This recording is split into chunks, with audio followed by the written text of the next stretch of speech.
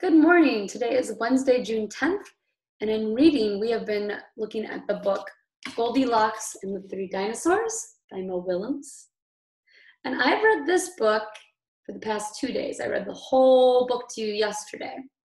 So today, I'm going to read another book, Goldilocks and the Three Bears, retold by Jan Brett. And then we're going to talk about how the story is the same as this and how the story is different. How it's the same and how it's different.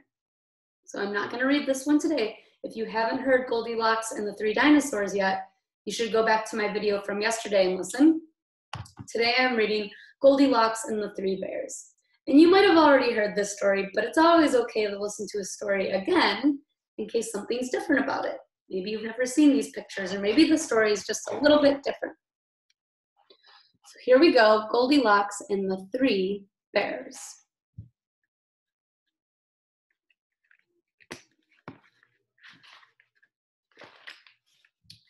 Once upon a time, there were three bears who lived in a house of their own in a wood. One of them was little, small, wee bear, and one was middle-sized bear, and the other was great, huge bear.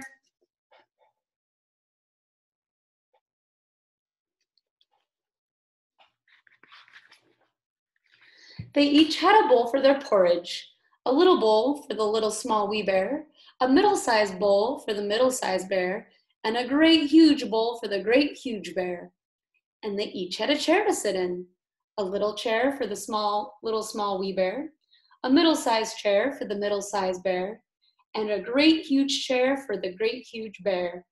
And they each had a bed to sleep in, a little bed for the little small wee bear, a middle-sized bed for the middle-sized bear, and a great huge bed for the great huge bear.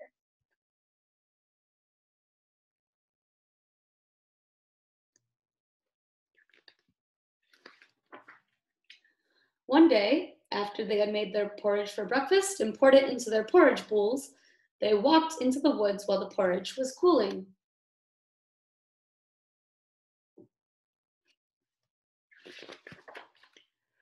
And while they were walking, a little girl named Goldilocks came to their house. First, she looked in at the window. Then she peeped in at the keyhole, and seeing no one was at home, she lifted the latch. The door opened before her, and in she went.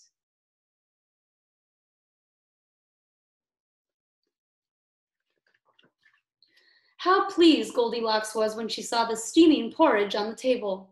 The sweet smell of the porridge with roasted nuts, honey, and berries filled the room. It was so tempting that Goldilocks set about helping herself. First, she tasted the porridge of the great huge bear, but it was too hot. Then she tasted the porridge of the middle sized bear, but it was too cold. Then she tried the porridge of the little, small, wee bear, and it was neither too hot nor too cold. It was just right. She liked it so much that she ate it all up.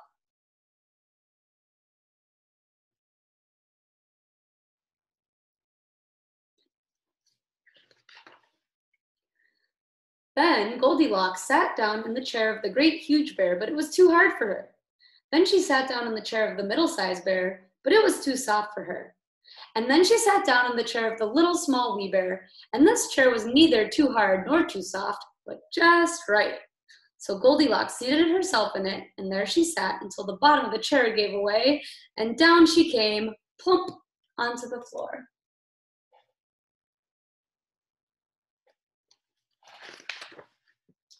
Then Goldilocks went upstairs to the bedroom in which the three bears slept. First, she lay down upon the bed of the great, huge bear, but that was too high at the head for her. Next, she lay down upon the middle of the bed of the middle-sized bear, but that was too high at the foot for her. Then she lay down upon the bed of the little small wee bear, and that was neither too high at the head or foot, but just right. So she covered herself up comfortably and fell fast asleep.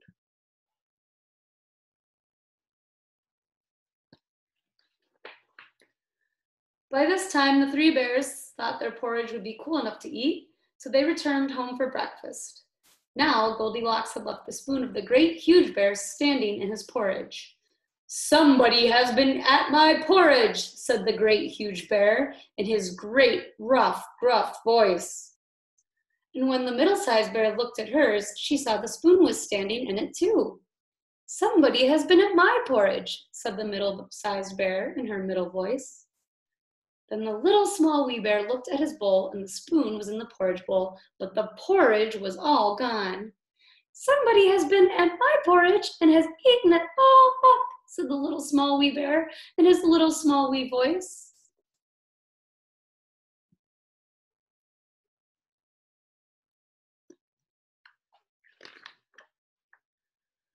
Upon this, the three bears, seeing that someone had entered their house and eaten up little small wee bear's breakfast, began to look about them. Now, Goldilocks had not put the hard cushion straight when she rose from the chair of the great huge bear. Somebody has been sitting in my chair, said the great huge bear in his great, rough, gruff voice. And Goldilocks had crumpled the soft cushion of the middle sized bear. Somebody's been sitting in my chair, said the middle sized bear in her middle voice. And you know what Goldilocks had done to the third chair. Somebody has been sitting in my chair and has sat the bottom right out of it, said the little small wee bear in his little small wee voice.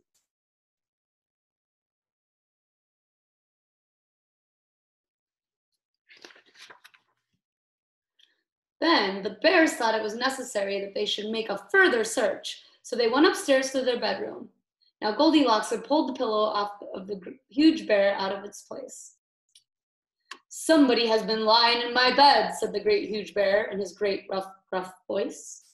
And Goldilocks had pulled the cover of the middle sized bear out of its place. Somebody's been lying in my bed, said the middle sized bear in her middle voice. And then the little small wee bear came to look at his bed. There was Goldilocks, sleeping peacefully, her long shiny braids spread across his pillow. Little small wee bear just stared at her for a moment and didn't say any, anything. But then he cried, Somebody's been lying in my bed, and here she is.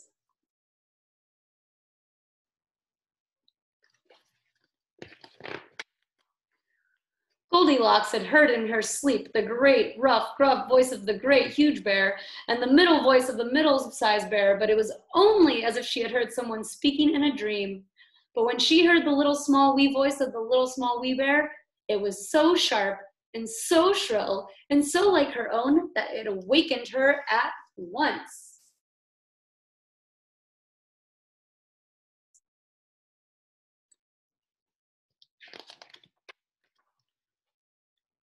She started, and when she saw the three bears on one side of the bed, she tumbled herself off the other and ran to the window. Out Goldilocks jumped and ran away as fast as she could run, not looking behind her until she was very far away.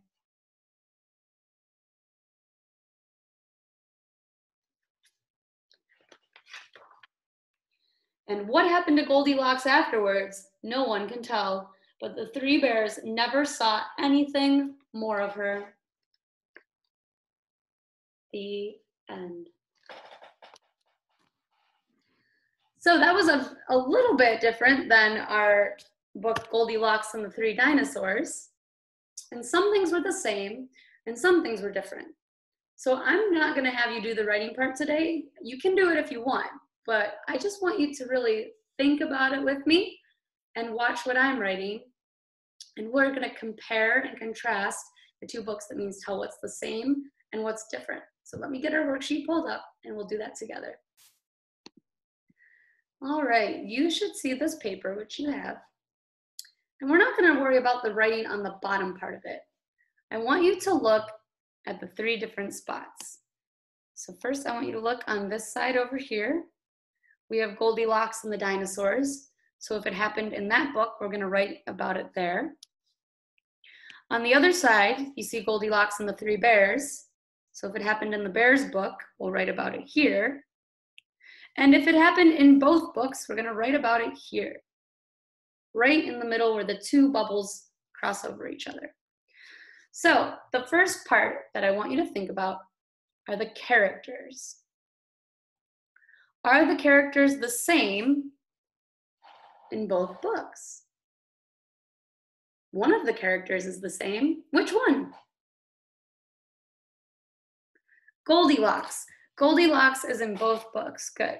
So we're going to write Goldilocks in the middle because she was in Goldilocks and the dinosaurs and Goldilocks and the bears. So she goes right in the middle. Then who are the other characters in the first book, the dinosaur book? The dinosaurs, yeah. So we had the three dinosaurs. Remember, if you want to write along with me, you can. But today, if you don't want to do the writing and you just want to watch, that's okay. So we had the three dinosaurs in the one book. And how about the second book? Who are the other characters? The three bears. Good. Now I want you to think about the setting of the story.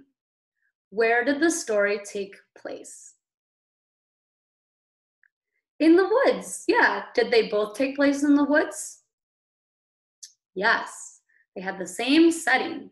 Both stories took place in the woods.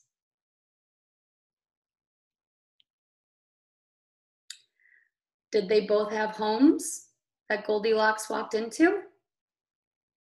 Yes, both had homes that Goldilocks walked right into.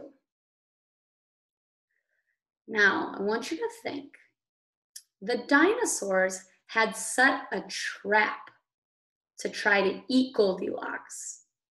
Did the bears try to set a trap? No, no, the bears didn't want to eat her. They they just had gone on a walk. They left. So we're going to write that in the dinosaur book. They set a trap.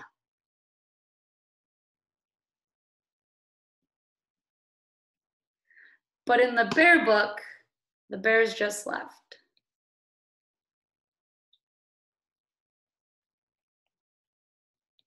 No trap.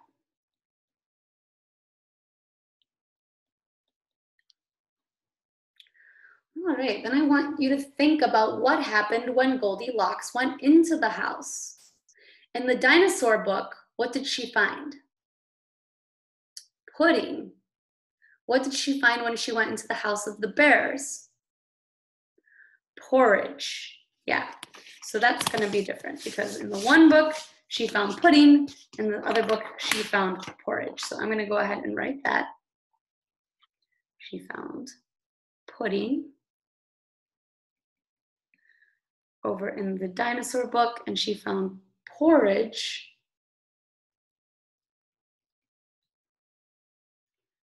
in the bear book. Good.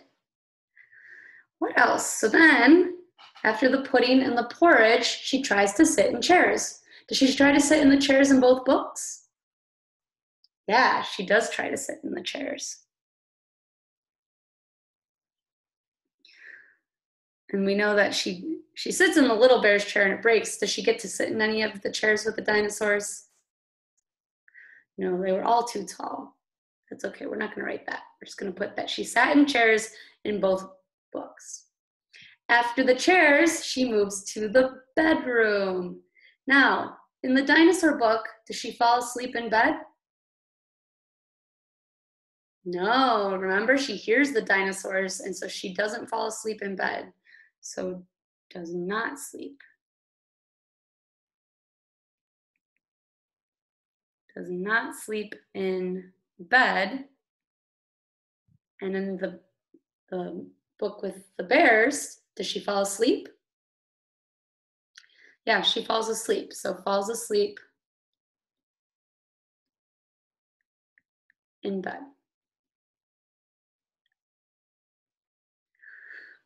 Now, in the in both books, does she run away? Yep, she gets away in both books. She runs away.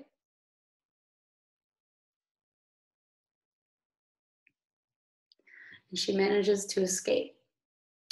So that should be it. So if we look at what was the same, just to review it here, we look at what was the same. It's that Goldilocks was in both books. It was the same setting in both books. They were in the woods at the home of the bears. Both stories had chairs that she tried to sit in.